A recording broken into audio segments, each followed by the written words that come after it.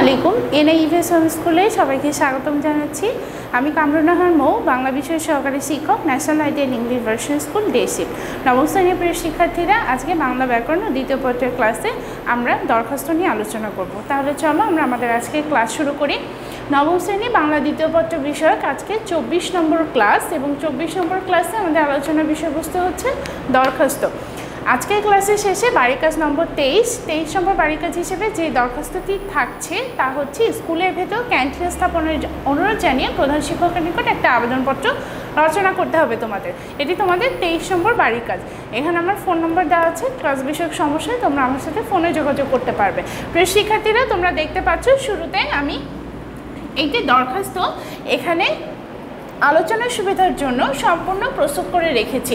প্রিয় শিক্ষার্থীরা, দরখাস্ত লেখার কাঠামো আশা করছি তোমরা জানো, কারণ ইতিমধ্যে অষ্টম এবং সপ্তম শ্রেণীতে তোমরা দরখাস্ত লিখে এসেছ।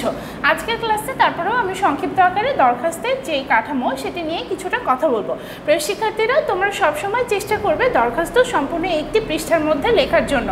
আর যদি দরখাস্ত কিছুটা আকারে বড় হয়, কারণ যেহেতু এই দরখাস্তগুলো কিছু তোমরা পাবে যেগুলো বিষয়বস্তু কিছুটা বড় হওয়ার কারণে যার আকার বড় হয়ে যাবে এবং তাহলে তোমরা এরকম পাশাপাশি দুইটি পৃষ্ঠা নির্বাচন করবে দরখাস্ত লেখার জন্য। এবং কাঠামো হিসেবে তোমরা প্রথমে অবশ্যই তারিখ লিখবে। আমি আজকে তারিখ লিখেছি এবং আজকে আমরা যে দরখাস্তটি পড়ব সেটি প্রথমটি হচ্ছে তোমাদের এলাকার রাস্তাটি সংস্কারের জন্য কর্তৃপক্ষের নিকট একটি আবেদনপত্র লেখো। তাহলে এলাকার রাস্তা সংস্কারের জন্য আমি কর্তৃপক্ষের কাছে আবেদনপত্র লিখতে হলে বরাবর নির্বাহী প্রকৌশলী, সরকার ও জনপদ বিভাগ, কুমিল্লা।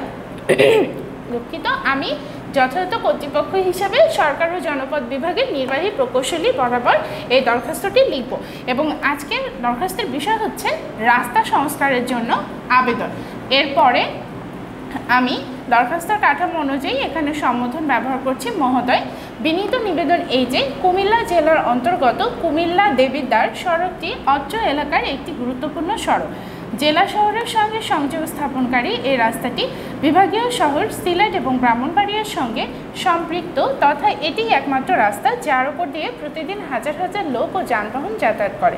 কিন্তু গত কয়েক বছরের উপর্যুপরি বন্যায় রাস্তাটির অবস্থা অত্যন্ত শোচনীয় হয়ে পড়ে হয়ে পড়ে। তাছাড়া এবারের বন্যায় রাস্তাটির স্থানে স্থানে ভাঙনের সৃষ্টি হয়ে যাতায়াতের সম্পূর্ণ অযোগ্য হয়ে পড়েছে।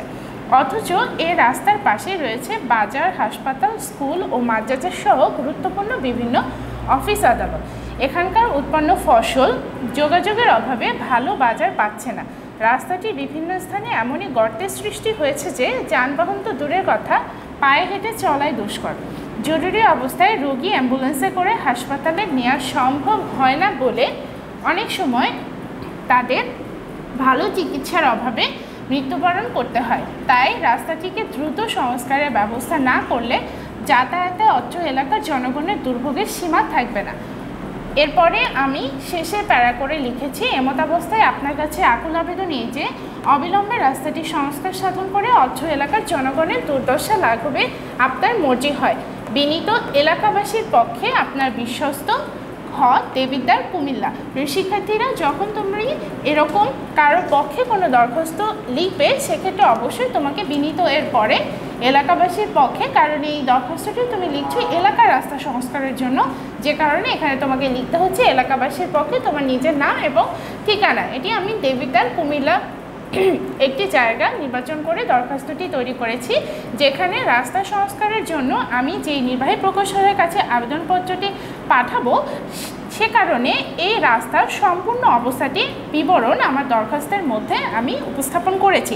প্রিয় শিক্ষার্থীরা, তোমরা যখন রাস্তা সংস্কারের এই দরখাস্তটি তৈরি করবে, তখন অবশ্যই এই সম্পূর্ণ বিবরণটি তোমার দরখাস্তের মধ্যে থাকতে হবে যাতে করে এই রাস্তাটির সামগ্রিক অবস্থা তোমার দরখাস্ত পড়ে বোঝা সম্ভব হয় এবং এই রাস্তার প্রয়োজনীয়তা, যে কেন আসলে এই রাস্তাটি সংস্কার করা প্রয়োজন, এই কর্তৃপক্ষ কেন রাস্তাটি সংস্কারের জন্য মনোযোগী হবেন তা তোমার দরখাস্তের সম্পূর্ণ বর্ণনা পড়ে যেন স্পষ্ট হওয়া সম্ভব হয়।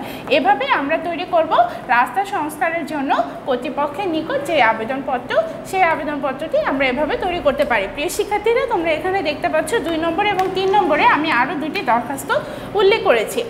দুই নম্বর দরখাস্তটা হচ্ছে, শিক্ষা সফরে প্রেরণের আবেদন জানিয়ে প্রধান শিক্ষকের নিকট একটি আবেদনপত্র লেখো। প্রিয় শিক্ষার্থীরা, এখানে তোমাকে দরখাস্ত লিখতে হবে, যার কাছে সেটি উল্লেখ করাই আছে, সেটি হচ্ছে প্রধান শিক্ষকের নিকট।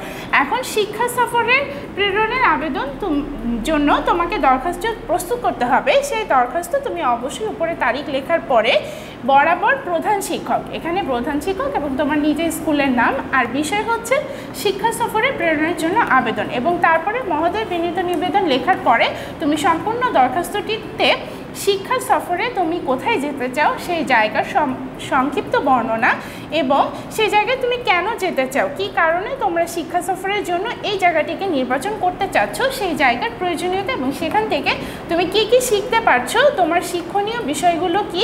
সেটা উল্লেখ করে তুমি আবেদনপত্র প্রস্তুত করবে এবং এই দরখাস্তের শেষ অংশে বিনীত নবম শ্রেণির শিক্ষার্থীদের পক্ষে যে কোনো একজনের নাম এটা লিখে তুমি দরখাস্তটি সম্পূর্ণ করবে। এরপরে আমরা যে দরখাস্তটি দেখতে পাচ্ছি সেটি হচ্ছে স্কুলের ভেতর একটি ক্যান্টিন স্থাপনের অনুরোধ জানিয়ে প্রধান শিক্ষকের নিকট আবেদনপত্র লেখো। এখানেও আবেদনপত্র তোমাকে লিখতে হবে প্রধান শিক্ষকের নিকট এবং তোমার বিষয় হচ্ছে স্কুলের ভেতরে একটি ক্যান্টিন স্থাপনের অনুরোধ জানিয়ে আবেদন। এরপরে তুমি স্কুলের ভেতরে কেন ক্যান্টিন স্থাপন করতে হবে? অর্থাৎ তোমাদের স্কুলের যে ছাত্র সংখ্যা সেই অনুযায়ী তোমাদের স্কুলের ভেতরে কেন একটি ক্যান্টিন স্থাপন করা প্রয়োজন? কারণ এই সময়ে তোমার বাইরে যে কোনো অস্বাস্থ্যকর খাবার স্কুলের মধ্যে প্রবেশ না করিয়ে স্কুলের কমিটি থেকে যদি একটি ক্যান্টিন স্থাপন করা হয় স্কুলের মধ্যে, সেটি ছাত্রছাত্রীদের জন্য কতখানি সাহায্য করবে সেই প্রয়োজনীয়তা উল্লেখ করে তুমি আবেদনপত্রটি প্রস্তুত করবে এবং এটি তোমাদের তেইশ নম্বর বাড়ির কাজ। প্রিয় শিক্ষার্থীরা, আমি আবারও বলছি, তেইশ নম্বর বাড়ির কাজ হিসেবে তুমি করবে স্কুলের ভেতর একটি ক্যান্টিন স্থাপনের অনুরোধ জানিয়ে প্রধান শিক্ষকের নিকট আবেদন। এছাড়াও তোমরা এই দরখাস্তটি হায়াত মাহমুদ রচিত ভাষা শিক্ষা বইয়ের সাহায্য নিয়েও করতে পারো। আশা করছি প্রিয় শিক্ষার্থীরা, আজকের ক্লাসটি তোমরা বুঝতে পেরেছ এবং কীভাবে দরখাস্ত লিখতে হবে সেই নিয়মটিও আমি সংক্ষেপে বলেছি। আশা করছি যথাযথ নিয়ম অনুসরণ করে দরখাস্ত প্রস্তুত করবে এবং বাড়ির কাজ সম্পন্ন করে স্কুলে পৌঁছে দেবে। আজকের মতো বিদায় নিচ্ছি, আবারও দেখা হবে। আল্লাহ হাফিজ।